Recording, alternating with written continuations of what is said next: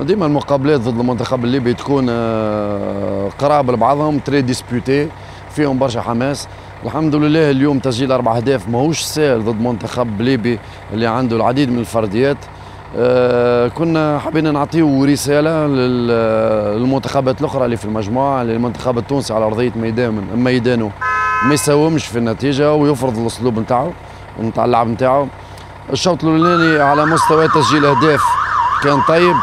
لكن على مستوى الأداء الجماعي وخاصة البناء نتاع الهجمات ما كوناش بالكدا. كل مدرب عنده المقاربة نتاعو وعنده الفكر نتاعو أنا نراه الغادي اللي كونه آه، يدخل على ساق ويولي يعطي حلول. الحمد لله الولد نجح ماتش نتاع الكاميرون نجح في المقابلة هذه ولو أنا متأكد أنه نجم يعطي خير